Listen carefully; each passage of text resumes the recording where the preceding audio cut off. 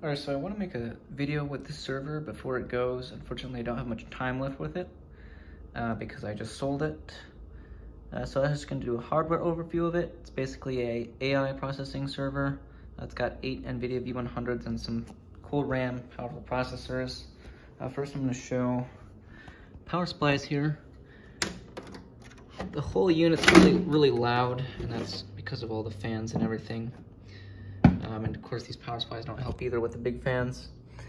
These power supplies will do 2,900 watts on 240 volt and on 120 volt they'll do uh, 1,200 watts. There's four of them in there, but the system takes about 3,000 watts max power. Uh, so it's not, so you, you can run on like two of them, though you'd really be pushing them, um, especially on 120 volt.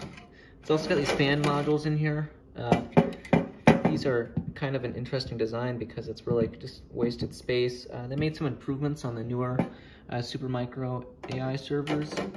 I believe the whole space back here is actually taken up by power supplies. Um, and it's better than having all that empty space. I mean, uh, of course, using all the space doesn't mean that it's any better, but it's usually more density. So here are the, I'll show the graphics cards first. So here are the graphics cards. They don't look like much like graphics cards, or typical graphics cards, but these are all NVIDIA V100s. They are 16 gig models, so there's a total of 128 gigs of VRAM. Um, I don't think, I might have some pictures of some benchmarks that I did, uh, but I don't have them I can't, I don't, I can't really do that much benchmarking anymore since I already sold it.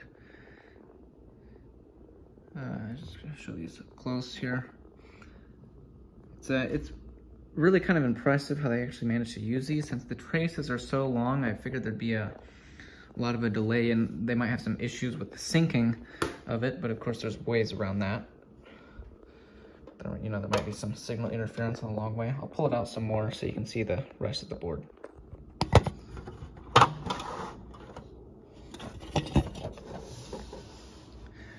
Can see in the back here, there's some more heat sinks. Those are probably some sort of like multiplexers, and then it goes into a interplane connect in the back. That's how most of these large servers are, is if you've got the processing up in the front, and then you've got a mid plane, and then power supplies go in the back. Okay, so this is the lower section. This is all about the processing. So CPUs and storage and RAM seen here. So in the back here, this is kind of weird how they did it. They don't have uh, fans blowing onto heat sinks. The fans are actually on the heat sinks. So it's not like a, and there's no air baffle either, which I found kind of weird. Um, in here I have 768 gigs of RAM. These are all 32 gig DIMMs. Not super impressive. Of course, it is still a lot, but relative to today, it's not super impressive with the 32 gig DIMMs.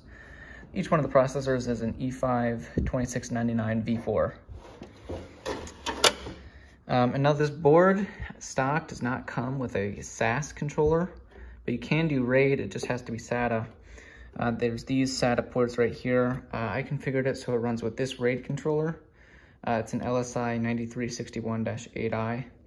Um, and that allows me to have RAID with these drives right here. Each of these is a 600 gig hard drive.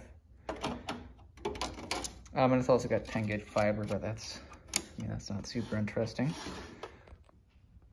Okay, so now I'm gonna be powering it up and let's hope that none of my neighbors are taking a nap because this is a insanely loud server.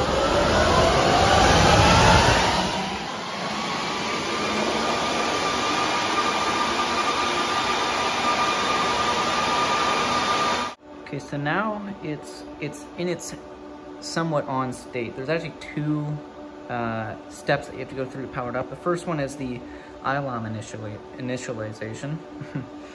um, and that just spins the fans up to full speed and makes sure that they're functioning properly. And there's a couple other checks to make sure it's all configured correctly. Then when you actually want to power it up, you press this button to get it to turn on.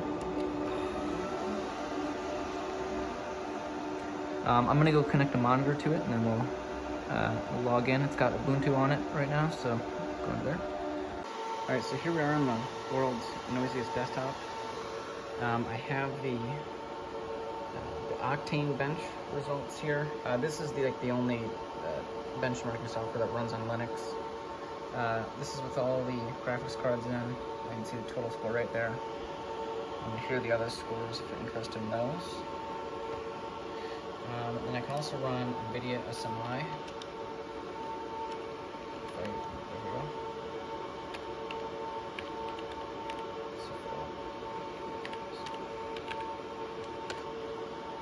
This here are the graphics cards right there. Um, you can see they take quite a lot of power even idle. Um, I'm sure it'd be a lot better to just turn them off when they're not being used, except Xorg is uh, using them. Alright, so I hope you enjoyed uh, watching this video on this uh, Supermicro server 4028 uh, TVRT, I think it is. Uh, it's a really cool system, uh, especially because there aren't that many of these systems with SXM in them. Um, this is one of the cheaper ones that you can get with S SXM. Um, and of course, it's got the V100s. It's kind of rare to get this sort of hardware, especially when you're uh, someone like me who doesn't really have the money to shell it all the time. Um, it's a really loud system too, so uh, that's one of the reasons as to why I'm selling it.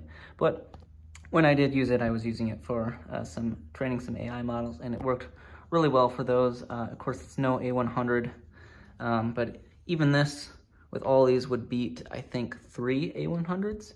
Three to four of them. It depends on the application. Uh, but yeah, thanks for watching.